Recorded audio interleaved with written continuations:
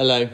If you're watching this, you're probably on the site of the Newt with one of our mixers without tech support. So I'm going to give you a quick run through on how to get inputs and outputs and yeah, a sound out of the PA. So we go. Let's start with our reset. So you want to, might want to reset the desk when you've got here just to make sure that there's nothing left from the previous band or anything people have done before. Just to sort of give you a clean slate to make sure there's no weirdness going on inside the mixer. Right, so we want to go to uh, um, dum, dum, scenes. Here it says reset mix settings. So we want to go standard, reset, yes.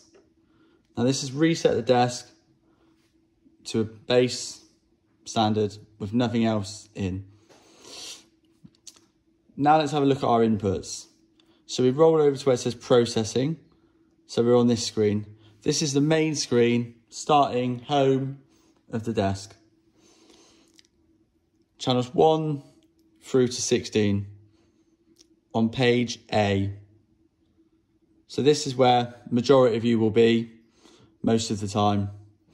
So if we select input 1, then this is brought up input 1. And we can see there's a source into this on input 1. You may be able to see that it's flashing red. Well, it's gone off. I've got the source coming from YouTube. So, yeah, here we go. If we push it up, fader 1. Because Miele products are designed to last for 20 years, giving you perfect You notice it's quite loud. year after year. and it's going to peak when it goes to the music. So we want to wind the gain back a little bit. Gain is set to 28 dB standard. Now this only really needs to be four or six because it's a line level input. So that is on channel one, going to our main fader.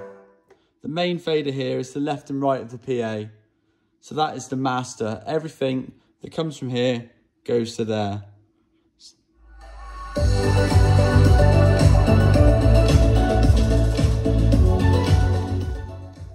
Now, next thing is we have the iPod input, which is going to be used for playback in between bands, line levels, backing tracks, whatever. Probably Beth may want to use it for the music before you start, the music in between bands. So that is over here on page layer C.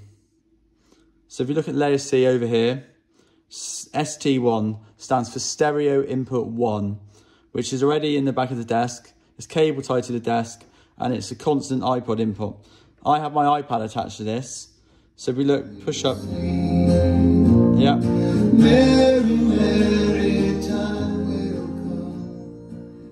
So let's go back to layers A. Just want to go through gain review again, just to make sure that we all understand what gain is and what gain's doing. So gain is basically the amount of level that you need to pre-amplify the input. This is uh, number one that we've used is obviously a line level input, so it doesn't need any preamp. Input two, for instance, maybe a microphone, an SM58, generally needs between 24 to 32 dB of gain. As you can see, it's set to 28. Another interesting fact that you may need is phantom power for DI boxes, condenser microphones, etc. Now to put the phantom power on the channel, you need to have the channel selected. So input 2 onto this screen, which is on the processing screen when I've hit where, where the gain is. So if you see phantom power, 48 volt, hold. If I hold it, phantom power is now on and the DI box, condenser microphone, etc. will have the phantom power that it requires. So now let's go to the output section of the desk, just to give you a quick rundown on that.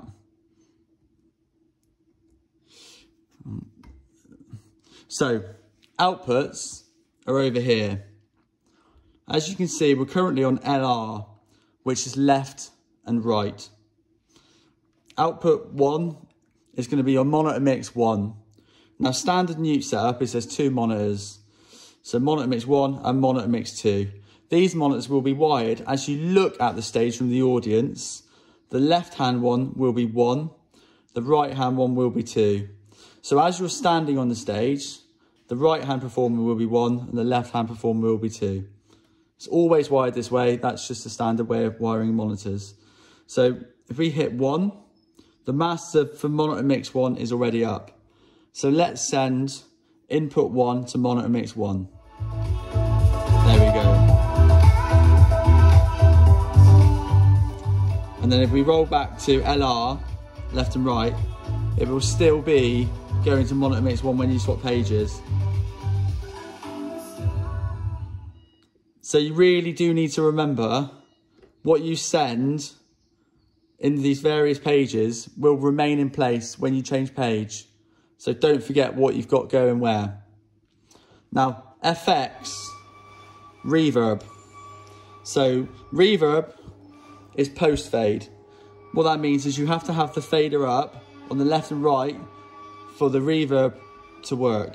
So if we put this one up, what I will do is I'll put this up and then I will add in reverb on FX1 and you'll hear it come in.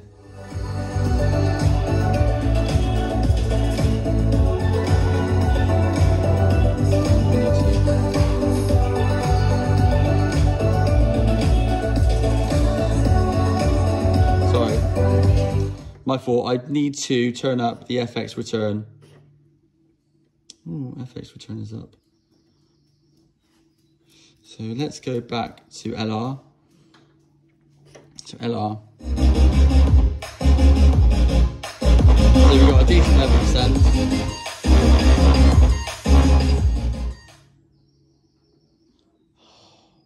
Sorry, YouTube is just restarting. Imagine, instead of using many plants there we go. Years, Can you hear the reverb? Just using one. Because many plants are designed to last for 20 years, giving you perfect results, year after year. That's quality ahead Again, best not to forget where you sent reverb because it can get messy. But going back to the recall, when you recall the desk, that will change all of the sends. It will set everything back to zero. So there we go. Some of you that have played the Newt before, we may actually have scenes from you. For instance, let's look into here. So if we roll down through the desk, so Adam's played here before, Kate's played here before, Graham and Vincent.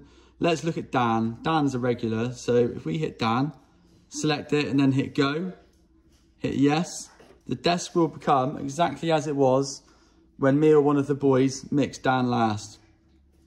So you need to plug the guitar into guitar into input one on the back of the desk, Dan's sax into two, and his vocals into four.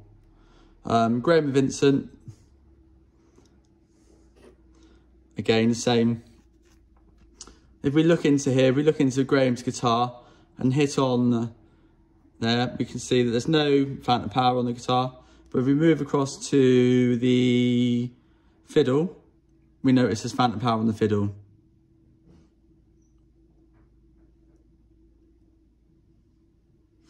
So again, let, us let's, let's go through the resetting the desk. So reset mix settings, standard, reset, yes. There we go. That's a brief rundown on how to use this console. Any questions? My phone's always on. Beth's got my number.